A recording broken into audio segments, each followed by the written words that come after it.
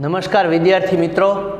આપણે ગુજરાતી ભાષાની સૌથી શ્રેષ્ઠ એકાવન કૃતિઓમાંની એક એવી શરણાઈના સૂર, પિતા અને પુત્રીના પ્રેમની વાત કરતા હતા ગયા લેક્ચરમાં. આજે સાતમું લેક્ચર છે. આપણે જનરલ ઇન્ફોર્મેશન ને એ બધામાં પહેલું લેક્ચર હતું. બાકીના ત્રણ લેક્ચર હતા. જોડણીના નિયમના. પહેલાં, ત્યાર પછી એમ કરીને ચાર અને પાંચમા લેક્ચરમાં આપણે મુરલી કાવ્ય અને જીવન અંજલિ થાજોની વાત કરેલી.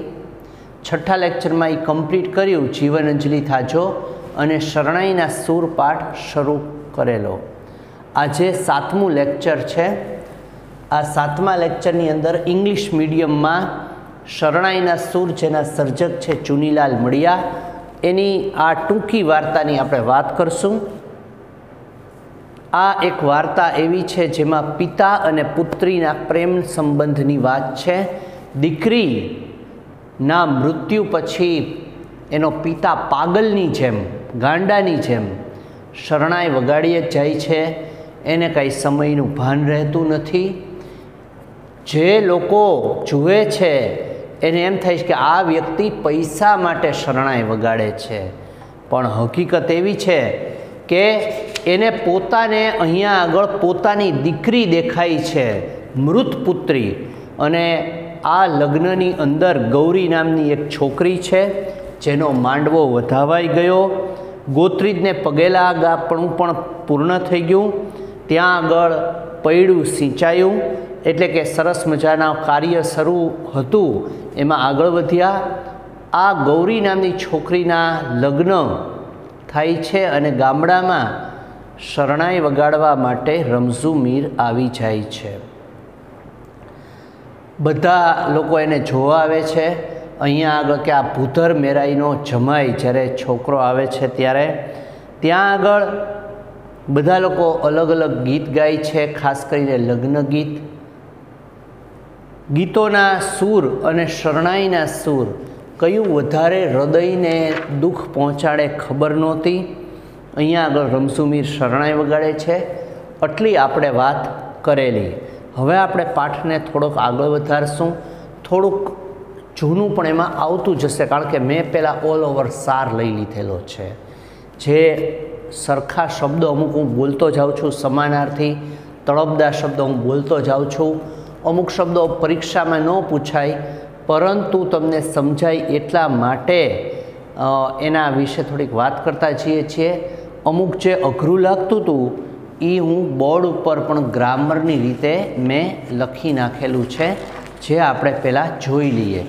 ત્યાર પછી આપણે આગળની વાત કરશું. જેમ કે રૂઢિપ્રયોગ છે પૈડું સિંચવું એટલે શુકન કરવા. લગ્ન વખતે જ્યારે પૈડું આમ ગોળ ફરે, કન્યા વિદાયનું એના માટે પણ આ શબ્દ વપરાતો હોય છે. અહીંયા સારા સુકન સામી વ્યક્તિ મળે, સુકનિયાળ. અહીંયા પૈડું સિંચવું એટલે શુકન કરવું. એટલું જ આપણે યાદ રાખો. અલગ અલગ જ્ઞાતિ પ્રમાણે અલગ અલગ રિવાજો હોય છે એ માટે. મંત્રમુક્ત બનવું એટલે દંગ થઈ જવું. શ્વાસ રેડવો એટલે દિલથી કામ કરવું, હૃદયથી કામ કરવું. કહેવત છે, મીઠા ઝાડના મૂળ ખાવા એટલે ભલા માણસનો ગેરલાભ લેવો, સારા માણસનો ગેરલાભ લેવો. આંગળી દેતા પહોંચો પકડે એટલે જરાક હાથ દેનારનું બધું જ પચાવી પાડવું. આંગળી દેતા પહોંચો પકડે, ખાલી સેજ મસ્તો આપ્યું હોય તો જાજુ લઈ લે. એટલે કે જરાક હાથ દેનાર થોડીક મદદ કરે તો એનું બધું પચાવી પાડે. આ કહેવત છે આ તદ ઉપરાંત જે મેં બોર્ડ ઉપર ન લખ્યા હોય એવા એક બે શબ્દો હું તમને કહી દઉં કે જે દીવડો કન્યા વિદાય વખતે જે દીવો કરવામાં આવે છે તે એને રાવણ દીવડો કહેવાય, સૌભાગ્યવતી સ્ત્રી એટલે સુહાગણ, એનું વિરુદ્ધાર્થી થાય વિધવા.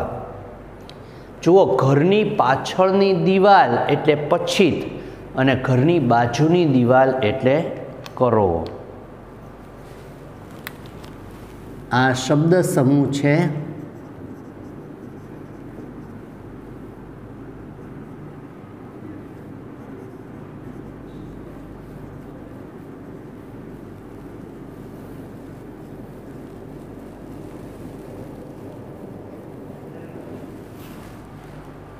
ઘરની પાછળની દિવાલ એટલે પછીત અને ઘરની બાજુની દિવાલ.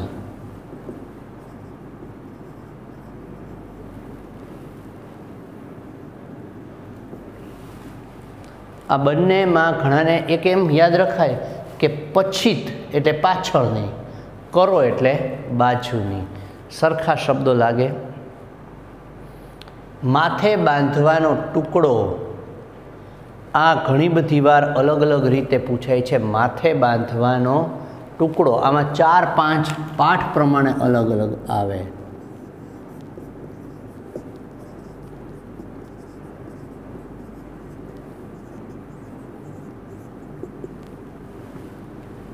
માથે બાંધવાનું કપડું એટલે ફેંટો. આ પાઠમાં ફેંટો આવે છે. માથે બાંધવાનો શણગાર એટલે ત્યાં આગળ એમાં તમારે પાઘડી આવે, શીરો, વેસ્ટર્ન આવે, આ બધા જ શબ્દો આવી શકે. અત્યારે તમારે ખાલી ફેંટો એટલું યાદ રાખો તો ચાલે. માથે બાંધવાનું કપડું એટલે ફેંટો. આ પાઠમાં એટલું છે. એટલે નાનકડો એવો લીરો, નાનકડો એવું કપડું, એવો અર્થ પણ થાય. બીજા સમાનાર્થી શબ્દો, પાઠની અંદર આગળ વધે એમ કરાવતા જશું. થોડું ટેક્સ્ટબુકમાં પણ દરેકે ધ્યાન આપવાનું છે. અંડરલાઇન કરતા જવાની છે, જ્યાં જ્યાં એવા શબ્દો લાગે ત્યાં. હવે આપણે પાઠને આગળ વધારીએ છીએ. જાણે કે ઢોલને શરણાઈને એ બધું વાગે છે. ખૂબ સરસ મજાનું વાતાવરણ છે, લગ્નનું, બધા બહુ ખુશ છે. ત્યાં આગળ વરના બાપનો હાથ કોથળીમાં ગયો અને રમજુના હાથમાં પાવલી પડી. ત્યારે જ એણે પીઠ ફેરવી અને જાન આગળ ચાલી.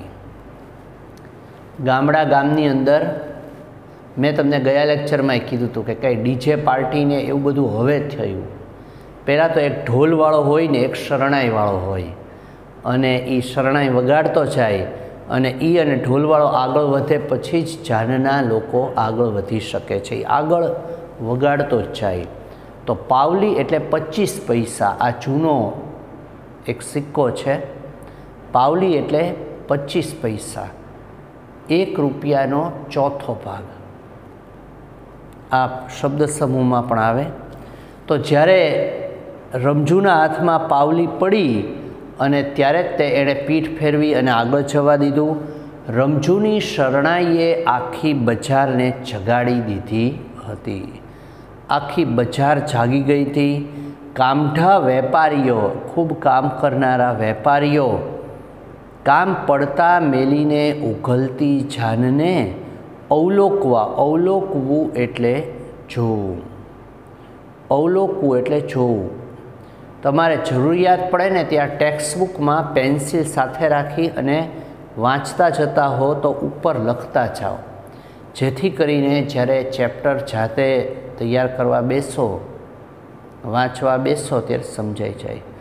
અવલોકવા એટલે જોવા.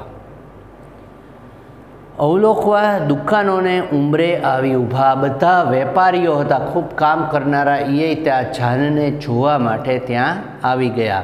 કારણ કે શરણાઈના સૂરજ એટલા સુંદર હતા કે બધા લોકો એના તરફ આકર્ષિત થતા. આખું સરઘસ અત્યારે જાજ્વલ્યમાન એટલે ખૂબ જ સુંદર રંગો વડે સોહાતું હતું એટલે દેખાતું હતું. મોખરે રમઝુના માથા પર લાલ મદ્રાસી ફેંટાના લીરા ઉઠતા હતા. એના માથા ઉપર લીરા એટલે કે જે એણે ફેંટો બાંધ્યો હતો એ તે સાવ જૂનો હતો. એટલે એ એના જે થોડા કટકા હતા એ પણ ઉડતા હતા. મેઘા ઢોલીએ લીલા રંગનું માથા બાંધણું બાંધેલું. માથાનો શણગાર એટલે માથા બાંધવાનું. આ મેં તમને પહેલાં જ સમજાવ્યું હતું કે આમાં બે ત્રણ આવી શકે. માથા બાંધણું પણ આવે અને માથા બંધણું પણ આવે. બંને આવી શકે, પાઘડી પણ આવે. અહીંયા આગળ. સિરો વેસ્ટર્ન. તમારા માટે આ સારું છે કે કોઈ પણ જવાબ લખો તો ચારે ચાર જવાબ પાઠને આધારે જ હોય એટલે સાચા જ પડવાના છે. એટલે ચિંતા નહીં કરવાની કે આમાંથી અમારે ક્યું લખવું. આ બાજુ મેઘાઢોલી એવું માથાબંધનું બાંધેલું હતું લીલા રંગનું. જાનૈયાઓ અને વેવાઈવાળાઓ તરફથી કંકુના થાપા મારવામાં આવેલા. તેથી આખો સમૂહ લાલ ભડક લાગતો હતો. આ બધાએ કંકુ થાપા મારેલા અથવા તો આપણે ત્યાં એવો રિવાજ જ છે કે ઘણા ઉત્સાહમાં આવે ત્યારે હોળી મનાવી લે. સામ સામે રંગી નાખે. હીર ભરતના ચૂલને શિંગડીઓ વળે શણગારેલા, બળદ તો સાવ જુદા જ તરી આવતા હતા. તમને ખ્યાલ નહીં હોય, ગામડાઓમાં હવે ટ્રેક્ટર આવી ગયા. પણ જ્યારે ગાડા હતા તો પોતાના બળદને એટલી સરસ રીતે એના શિંગડાઓને શણગારવામાં આવતા અને ખૂબ સરસ રીતે આખું વાતાવરણ એટલું સરસ બની ગયું. અહીંયા આગળ લગ્ન થાય છે અને લગ્નની અંદર ખૂબ ઉત્સાહ સાથે બધા લોકો ભેગા થયા છે. ત્યાં આગળ બળદ ગાડામાં બેઠેલા વરરાજાનો જરિયન જામો આ આપણે પહેલાં કાવ્ય વખતે જામો એ સમાનાર્થી અને શબ્દ સમૂહ બંનેમાં જોયેલું. યાદ રાખો, જરિયન જામો, જરીના કસબવાળું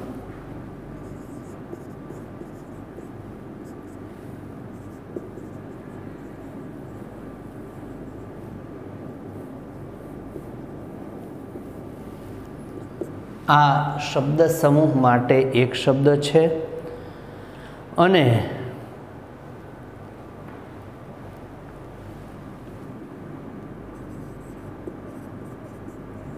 ઘૂંટણથી પગ સુધી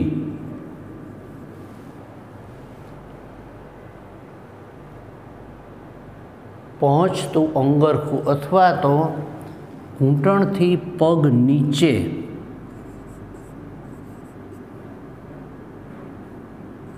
પહોંચતું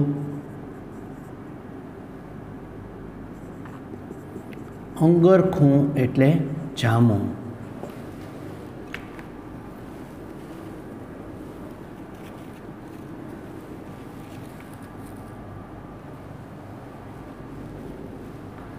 આ બંને શબ્દ સમૂહ જ છે.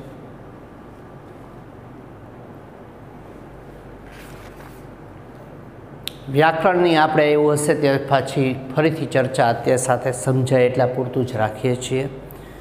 આ લોકો અંદરો અંદર એકબીજા સાથે હોળી રમતા હોય એમ કંકુના થાપા મારેલા, પચરંગી પટોળું, જરિયન જામો, જે હતો એમના હાથમાંથી તલવારનું રંગીન મિયાન તેમજ કન્યાનું પચરંગી પટોળું એક વિશિષ્ટ રંગ સૃષ્ટિ રચી દેતા હતા. આ લોકોમાંથી ઘણી સ્ત્રીઓએ પટોળું પહેર્યું હતું. પટોળું એટલે બંને સાઈડ પહેરી શકાય તેવી સાડી એને પટોળું કહેવાય છે. પાટણના પટોળા ખૂબ ફેમસ છે. ગુજરાતમાં કે ઇન્ડિયામાં નહીં, પણ બહાર પણ એક્સપોર્ટ થાય છે. ટૂંકમાં ખૂબ સારી રીતે લગ્ન થતા હતા. વરરાજા પાસે તલવાર હતી, એનું મ્યાન શણગારેલું. બળદ છે એના શિંગડા શણગારેલા. અંદરો અંદર બધા લોકો કંકુ થાપા મારતા હતા, લાલ ભડક લાગતા હતા માથાબંધનું મેઘાઢોલીએ લીલા કલરનું પહેરેલું. કન્યાઓમાંથી ઘણી કન્યાઓએ પચરંગી પટોળા, અનેક રંગોવાળા પટોળા પહેર્યા હતા. આ જાનનું વર્ણન એવો પ્રશ્ન આવે ત્યારે તમારે આન્સરમાં પણ લખવાનું હોય છે. પ્લસ આ ચેપ્ટરમાંથી તમારે એક બાબત યાદ રાખવાની કે આપણી ભારતીય સંસ્કૃતિમાં પહેલાંના ટાઈમમાં કેવી રીતે લગ્ન થતા. હવે આ બધી વસ્તુઓ બહુ ઘટતી જાય છે એટલે તમને એનો આઈડિયા જ ન આવે, ખ્યાલ જ ન આવે એટલા માટે. તો અહીંયા આગળ ઘણી બધી સ્ત્રીઓ છે એ વિદાય ગીતો ગાય છે. સુહાગણોના અવનવા પટકુળોમાં તો રંગમેળો જ જોવા મળતો હતો. આડે દિવસે ઉડ ઉડ કરતી લાગતી બજારમાં રમઝુમીરની શરણાઈએ નવી જ દુનિયા રચી કાઢી હતી. બધા લોકો જાણે કે એનામય બની ગયા હતા. એના સુરની મોહિની એવી હતી કે સાંભળનારને મસ્ત બનાવી મૂકે. આગળ આપણે આવશે કે એની જિંદગી જ શરણાઈ અને એની દીકરી હતી. એટલે જ્યારે એ શરણાઈ વગાડતો, ત્યારે બધી બાજુથી ખોવાઈ જતો. એને આજુબાજુની દુનિયાનો પણ કાંઈ ખ્યાલ રહેતો નહીં. આજુબાજુના બધા કામ કરનારા લોકોને પણ મસ્ત બનાવી મૂકે એવી રમઝુ મીરની શરણાઈ વાગતી હતી. એની અસર કાન પરથી સીધે સીધી હૃદય સુધી પહોંચતી હતી. જે દિલ સુધી પહોંચી જાય અને હૃદયને ચોટ આપી જાય એવી એની શરણાઈ હતી. એ પરિતોષનો નશો સીધો મગજમાં જ ઉતરતો હતો. પ્રાકૃતિ જનોને પ્રાકૃતજન એટલે કોમન મેન સામાન્ય લોકો. સામાન્ય લોકોને આ સમજાતું નહોતું, પણ છતાંય તે મંત્રમુગ્ધ બનાવી જતું હતું અને ડોલી ઉઠે તો ખરા જ. આપણે અહીંયા આગળ જોયું હતું, મંત્રમુગ્ધ બનાવી દેવું, એટલે જાણે કે એના મય બનાવી દેવું. ભર ચોગાનની અંદર રમઝુએ અડાણો ઉપાડ્યો. આ એક જાતના રાગનું નામ છે. આ છે તો ખાલી સામાન્ય શરણાઈવાળો, પણ કેટલાય બધા રાગ કેટલું બધું જ્ઞાન ધરાવે છે. આ કોઈ સામાન્ય વ્યક્તિ પૈસાની પરિસ્થિતિ ખરાબ હોવાને લીધે એ પોતે પોતાનું નામ ન કરી શક્યો, પણ એને ખૂબ જ્ઞાન હતું. આ પેઢી દર પેઢી એ લોકો શરણાઈ વગાડતા જતા હતા, એટલે એને અડાણા નામનો રાગ ઉપાડ્યો. એ ઉન્માદ ભરી તરજનું બંધારણ ભાગ્યે જ લોકો સમજતા આ ક્યારે રાગ ગાવો અને કેવી રીતે અમુક લોકો જાણતા હતા? આનંદ ઉછરંગ તોફાન અને મસ્તી શ્રોતાઓ માણી રહ્યા હતા. ત્યાં જેટલા લોકો હતા એ બધા આનંદમાં હતા. કારણ કે ગૌરીના લગ્ન છે, ખૂબ ઉત્સાહ છે ગામમાં. એમની આંખ સામે તો વાત વાતમાં છણકા કરતી, આંખમાંથી અગંતરખા વેરતી, ખોટે ખોટા રૂસણા લેતી અને વળી પાછા પતિના પ્રેમોચારે રીઝી જતી. અજબ નટખટને નખરાળી નવોઢા રમી રહી હતી. ત્યાં જે લોકો લગ્ન હોય, લગ્નની અંદર એવું થતું કે જ્ઞાતિના લોકો અંદરો અંદર બહુ ટાઈમે મળે, બધા ભેગા થાય. એક ગામના હોય, બીજા ગામના હોય ત્યારે ઘણી છોકરીઓ હોય, છણકા કરતી હોય, અમુક નખરા કરતી હોય, અમુક છોકરીઓ છે મજાક મસ્તી કરતી હોય, ઘણા એકબીજાને હેરાન કરતા હોય. આવું બધું પહેલાં લગ્નમાં બહુ બનતું. ત્રણેક દિવસ આ લગ્નનો માહોલ રહેતો. તો બધા લોકો આવી જ રીતે એકબીજાની મજાક મસ્તી કરવી, દોડાદોડી કરવી, રમવું, આ બધું ત્યાં આગળ બનતું હતું. અભણ રમઝુ ડોસા પાસે શબ્દો નહોતા. એની પાસે માત્ર ને માત્ર સૂર હતા. એ દિલમાંથી એવા દર્દનાક સૂરો કાઢી શકતો કે આનંદના સૂરો કે એના સંગીતથી જ આખું વાતાવરણ એવું બની જતું આવા શબ્દો વગરના સૂર રમઝુ મીર વગાડતો જતો હતો અને સૂજ સૂર વડે જ આખે આખી સૃષ્ટિ, આખું વાતાવરણ ત્યાં બની જાય છે. નમતે બપોરે જ્યારે સાવ શુષ્ક વાતાવરણ હોય, તડકાનું વાતાવરણ હોય, ત્યારે સોંઢતી પતિ મિલનોત્સુક પરિણીતાનું કલ્પના ચિત્ર શ્રોતાઓની આંખ સામે તરી રહ્યું છે. આ છોકરી છે, પતિને મિલનોત્સુક જણે, એના પતિને મળવા જાય છે અને ત્યારનું વાતાવરણ એના મનના ભાવ, એના દિલમાં જે છોકરીના લગ્ન થયા છે અને હજી એના પતિ સાથે પોતે મિલન બાકી છે, તો એના ઉન્માદના, આનંદના જે ભાવ છે એ શરણાઈ દ્વારા બધાના દિલ સુધી રમઝુમીરે પહોંચાડી દીધા. એ મેલા ઘેલા માણસને સાધ્ય કરેલી સુર શક્તિની જ બલિહારી છે. આ તો કોઈ કુદરતના આશીર્વાદથી જ તમે આગળ ભણશો અગિયાર બાર કોમર્સમાં, તો બિસ્મિલ્લા ખાનનો ઇન્ટરવ્યૂ છે. એ એમ જ કહે છે કે ખુદાની આ કોઈ મારા ઉપર આશીર્વાદ છે. દુનિયામાં ત્રણ જ વ્યક્તિઓને બહુ રિસ્પેક્ટ આપે છે. ખુદા એટલે કે ભગવાન ઈશ્વરને. બીજા એક એના મામા જેણે એને શરણાઈ શીખડાવી અને એક શરણાઈ ત્રણ વ્યક્તિઓને જેણે એના ઇન્ટરવ્યૂમાં એમ કીધું કે ત્રણ વ્યક્તિઓ, એટલે એ વ્યક્તિ તરીકે ગણે છે શરણાઈને પણ.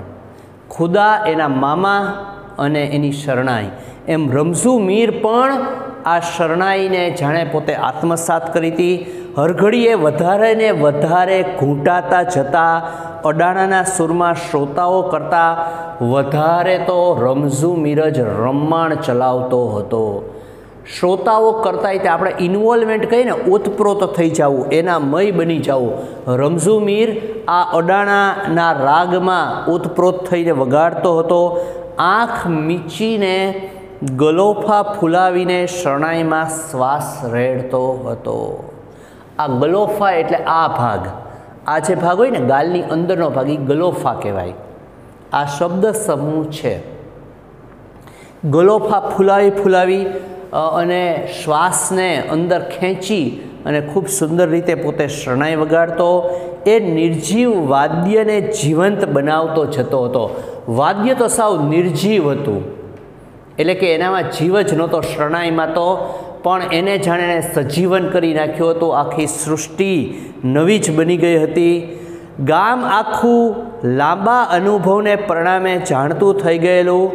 કે રમઝુ મીર એકવાર શરણાઈમાં ફૂંક મારે, પછી એને સ્થળ કે સમયનું ભાન ન રહે. એક વખત ગામના લોકોને ખબર હતી કે એ જ્યારે શરણાઈ વગાડવાનું શરૂ કરી દે, પછી એને સ્થળ, સમય એનું કાંઈ ધ્યાન રહેતું નહોતું. જે કલાકારો હોય છે એ જ્યારે કોઈ કલાને સમર્પિત થઈ જાય છે ને એનામય થઈ જાય છે. તમારો ગમતો વિષય તમે વાંચતા હો ને એનામય થઈ જાઓ, પછી શું રસોડામાં બન્યું, શું રૂમમાં બન્યું કે શું ક્લાસમાં બન્યું, જ્યારે તમે કોઈના મય થઈ જાઓ, ત્યારે તમને એની સિવાયનું કાંઈ જ દેખાતું નથી.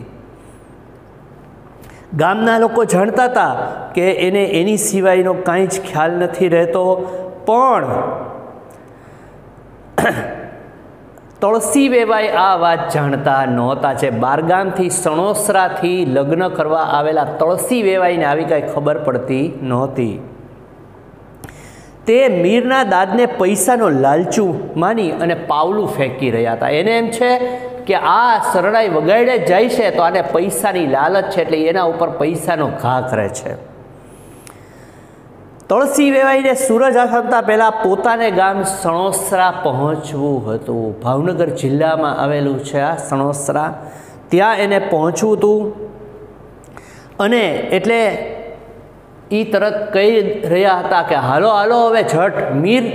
રમજુ મીર નહીં, મીર કહે છે ઝટ હવે વહેતા થાવ પણ અડાણાના સૂરમાં ગળાડૂબ શેલારા રહેતા રમઝુને આવા આદેશ સાંભળવાની નવરાશ જ નહોતી તળસી વેવાઈને તો એમ કે આ પૈસાનો ભૂખ્યો છે એટલે એ પૈસાના ઘા કરે છે. પણ ઓલો માણસને આ વાતની કાંઈ ખબર જ નથી કે મને આવું કહે છે. એ તો કોઈની વાત સાંભળ્યા વગર શરણાઈ વગાડીએ જ જાય છે. મીર એની શરણાઈમાં સમય બગાડતો જતો હતો. અને તળસી વેવાઈને મનમાં ચટપટી ચાલતી હતી. આ ગતિએ રૂપિયે ગજને હિસાબે આગળ હાલશું તો સણોસરા પૂગતા સાંજ પડી જશે. આ રૂપિયા ગજને એટલે એકદમ ધીમે ધીમે, કે આમ ધીમે ધીમે જશું તો તો સાંજ પડી જશે. અને એની અંદર રસ્તામાં પણ થોડોક ડર રહે. કારણ કે ઓલી છોકરી જે હતી, ગૌરી એણે ઘરેડા પહેલાં છે, લગ્ન કરીને હજી એની વિદાય જ થયેલી છે. સામૈયા કરવામાં હોરાજીની કિશન લાઇટ મંગાવવી પડશે. હોરાજી મતલબ વહોરાજી, આ મુસ્લિમોની એક જ્ઞાતિ છે. કિશન લાઇટ તમે કદાચ બહુ ઓછી જોઈ હોય એ વ્હાઇટ કલરની, સફેદ કલરની લાઇટ આવે અને આટલું ફાનસ આવે. જ્યારે રાત્રિના લગ્ન હોય ને ત્યારે એ માથે બધી સ્ત્રીઓ રાખે અને વચ્ચે જે વરરાજા હોય એ ચાલતી હોય, ઘોડા ઉપર એ હોય, બે બાજુ આ કિસન લાઇટ રહેતી રાત્રિના લગ્નમાં અને વરરાજાનો જે ફેટો હોય ને એમાં એક લેમ્પ રાખવામાં આવતો. ત્યારે એવું ગીત, એવી કે, એવી ગીત એ સમયે તો તમે ન સાંભળ્યું હોય, કે લીલી પીળી લાઇટ કરો, મારે આ વરને જોવા છે. ધોળા છે કે કાળા છે મારે આ વરને જોવા છે? તો આવા બધા લગ્ન ગીતો એ સમયે રહેતા. ત્યારે આને એમ થયું કે આ કિશન લાઇટ નહીં તે મારી ખર્ચો થશે. તળસી વેવાય પૈસાની ગણતરી કરે છે. એટલે એમ કહે છે કે સાંજ થતાં હોરાજીની કિશન લાઇટ મંગાવવી પડશે. મોંઘી ડાઇટ બત્તીના બિલ ભરવાને બદલે વેવાઈના મુફલી સ્પીડને પાવલું દાદ આપીને આગળ વધવા પ્રેર્યો. એને એમ થયું કે કિશન લાઇટનો ખર્ચો કરાવો, એની કરતાં આની ઉપર હું રૂપિયા ફેંકવો એટલે જલ્દીથી અમને રસ્તો આપે. પણ શરણાઈના સૂરમાં ડાબેથી જમણે ડોલી રહેલા રમઝુ મીરને પૈસા ફેંકા ગણવાની ક્યાં નવરાશ હતી? એને તો કાંઈ ખબર જ નથી. એને પૈસા ગણવાની કે કેટલા પૈસા આવે છે એમાં કાંઈ ધ્યાન જ નથી. મેઘા ઢોલીએ ધૂળમાંથી સિક્કા વીણી લીધા. એની સાથે જે હતો એ તો ખાલી પૈસા માટે જ વગાડવા આવેલો. એણે તો તરત સિક્કા મેઘા ઢોલીએ વીણી લીધા. અને રમઝુને કહ્યું, હાલો મીર હાવ કરો હાવ આવી સૂચનાએ કાને ધરે એમ ક્યાં હતો? આવો પ્રશ્ન આવી શકે કે મેઘા ઢોલી શરણાઈ વગાડતો હતો તો વાક્ય સાચું છે કે ખોટું? તો વાક્ય ખોટું છે. મેઘા ઢોલી છે એ ઢોલ વગાડે છે. આખરે ભૂધર મેરાઈએ પોતે જ આગળ આવી ને રમજુને રીતસરનો હડસેલો માર્યો, એટલે કે એને ધક્કો માર્યો. આ વ્યક્તિ તો પોતાની મસ્તીમાં ગુલ છે, એને ધક્કો માર્યો, એનું અપમાન કર્યું, પણ આને ખબર જ નથી. હવે હાલની ઝટ, હાલની આમ ડગલે ને પગલે દાદ લેવા ઊભો રહીશ તો કેદી પાદરે પહોંચશે? ગામની બહાર આ લોકો ક્યારે પહોંચશે? એક જોસ્તીને ધક્કો માર્યો. મેરાને હડસેલા સાથે ઉગ્ર અવાજે ઉશ્કારેલા વેણ કાને પડ્યા. એકદમ ગુસ્સો, એકદમ અપમાન. આ બધું આટલા સમયે એ જ્યારે એના મય બની ગયો તો તેને સમય સ્થળની ખબર જ નહોતી. પણ જ્યારે જોશથી ધક્કો મારવામાં આવ્યો, એનું અપમાન કરવામાં આવ્યું, ત્યારે એને ખ્યાલ આવ્યો કે હું તો અહીંયા આગળ લગ્નમાં શરણાઈ વગાડવા આવ્યો છું. મીરને ભાન થયું, અત્યારે ઊભી બજારે બાંધી ને ઊભો છું અને મારે તો હજી એને ઝાંપા સુધી દોરી જવાની છે. ગામની બહાર સુધી એને મૂકવા આવતા હોય. રમઝુ યંત્રવત આગળ તો વધ્યો. પણ એનું દિલ અને દિમાગ બરોબર બે દાયકા જેટલું પાછળ હટી ગયું હતું. એના પગ ચાલતા હતા, પણ એનું દિલ વીસ વર્ષ પાછળ ચાલ્યું ગયું. એને યાદ આવી પોતાની દીકરી. અત્યારે એને એમ જ હતું કે હું મારી દીકરીના લગ્નમાં શરણાઈ વગાડું છું. બે દાયકા પહેલાં, એટલે કે વીસ વર્ષ પહેલાં એક નમતા બપોરે રમઝુમીરે પોતાની પુત્રી સકીનાને સાસરીએ વળાવી હતી. મા વગરની દીકરી પૈસાદારે નહીં અને કોઈ સગાવાલા મદદમાં નહીં. આવા ટાઈમે આ વ્યક્તિએ દીકરીની વિદાય કરેલી. હૃદયમાં ઊંડે ઊંડે જ્યારે દીકરીને વળાવી, ત્યારે દર્દ એના દિલમાં હતું અને એક ચિત્કાર નીકળેલો, આ મૂંગો ચિત્કાર. ગરીબ માણસની હાઈ કે ગરીબ માણસની ચીસ, ક્યારેય તે પૈસાદાર માણસો સુધી પહોંચતી નથી એ મનમાં ને મનમાં શમી જાય છે. તો એના સ્મરણોના સળવળાટે મીરના હૃદયમાં ઉઠ્યો. એને એની દીકરીને વિદાય વખતે જે ભાવ હતા જે હૃદયના ભાવ હતા એ એને ઉત્પન્ન થયા.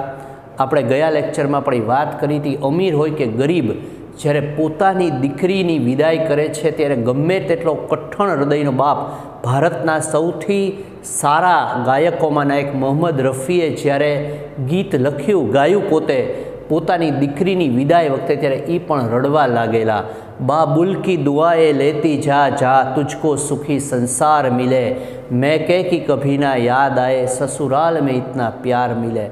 તો કોઈ પણ બાપ હોય એનું હૃદય દીકરીની વિદાય વખતે પીગળી જાય છે. અને અહીંયા પણ આ વ્યક્તિને પોતાની દીકરીની યાદ આવી અને આપોઆપ એની શરણાઈનો સૂર બદલાઈ ગયો. જે હર્ષના ભાવ હતા, ત્યાં દર્દના ભાવ આવી ગયા. ઉન્માદ અને ઉમંગ ઓસરી ગયો એને સ્થાને હવે કોળાયેલા કાળજાનું દર્દ વહેવા લાગ્યું.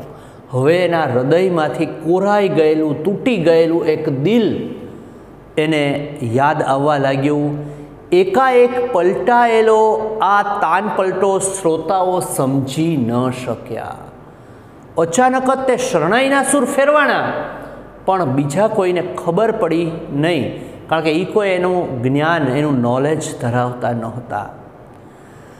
એને સ્થાને હવે એનામાં આ દર્દ આવી ગયું નવા સુરની અસરમાં આવતા એને વાર ન લાગી. આકાશમાં પૂર્ણેન્દુ પ્રકાશ્યો હોય, પૂર્ણેન્દુ પૂર્ણ પ્લસ ઇન્દુ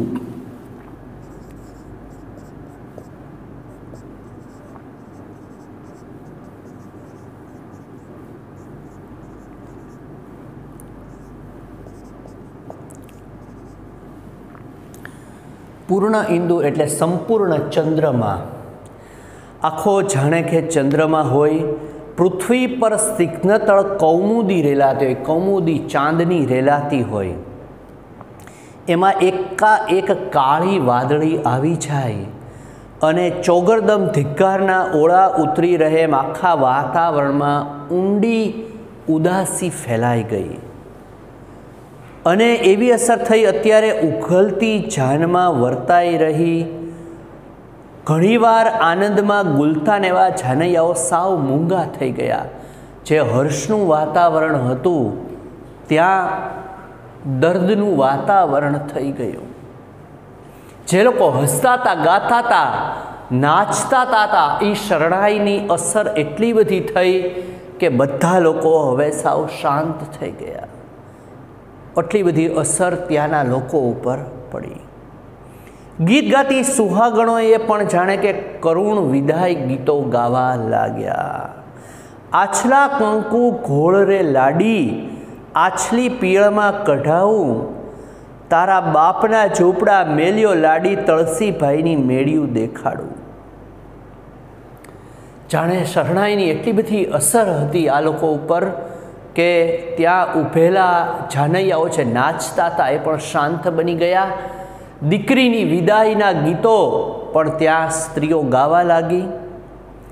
રમઝુ ડોસો એની શરણાઈ વગાડવામાં અને પોતાના દિલમાં ભારેલી વેદના વ્યક્ત કરવામાં જ ગુલતાન હતો. એને તો એમ જ હતું કે આ જાણે દીકરીની વિદાય થાય છે એ તો એમાં ને એમાં જ ઓતપ્રોત થઈ ગયેલો. છતાં ગીતોમાં ગવાતી વેદનાના વસમાં વેણ એના કાને અથડાઈ જતા હતા. આ વિદાય ગીતો પણ એના કાનને અડે છે અને આપમેળે હૃદય સોંસરા હૃદયની આરપાર થઈ જતા હતા. પરિણામે એના સૂરમાં બમણું દર્દ ઘૂંટાતું હતું. અત્યારે ગૌરીના પિતા ભૂધર મેરાઈ પુત્રીની વિદાયને કારણે વિષાદ અનુભવી રહ્યા હતા. એક બાજુ પિતાને વેદના છે અને એથી અદકો વિષાદ રમજુ મીરના હૃદય પર છવાયો હતો. આ દીકરીની વિદાય તો ખાલી તળસી વેવાય અને ગૌરી એના ભૂધર મેરાય આ લોકો અલગ અલગ વાતાવરણમાં છે, પરંતુ જે દર્દ રમઝુ મીરના દિલમાં છે એ તો કોઈ જાણતું જ નથી. દિશા શૂન્ય એ કેવળ આદતને જોરે એક એક દ્રશ્ય એની ઝામર મોતિયા વડે ઝંખવાતી આંખ આગળ તાદૃશ્ય થતું હતું. મોતિયો આવવો એટલે એ આંખમાં એક રોગ તમને ખ્યાલ હોય, પણ ઝામર એટલે આંખની આજુબાજુ એવો પડદો થઈ જવો, એટલે દેખાય ઓછું. પણ આંખની પાછળ પણ એક દુનિયા છે. જેમાં પોતાની મૃત પુત્રી સકીના, જેને મા બાપનો પ્રેમ આપેલો છે એ છોકરીનો જ્યારે સાસરે ગઈ અને સાસરામાં એ મરી ગઈ, એની જે વેદના છે, એની વિદાય છે, આ બધું જ રમઝુ મીરના જીવનમાં યાદગાર બની ગયું છે. રમઝુ મીર પોતે દિલથી ખૂબ દુઃખી છે. ગુજરાતી ભાષાની જે શ્રેષ્ઠ વાર્તાઓમાં સ્થાન પામેલી એવી આ વાર્તા આપણે કન્ટિન્યુ હજી ચાલે જ છે. આવતા લેક્ચરની અંદર આ જ વાર્તા આપણે આગળ વધારશું. તમારે આની અંદર હોમવર્કમાં એક જ પ્રશ્ન કરવાનું છે. ખાસ તમે લોકો હોમવર્ક નોંધી લ્યો.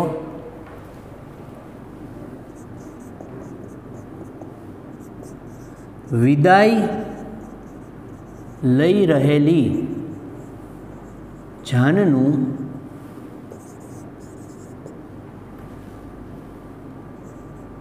વર્ણન કરો.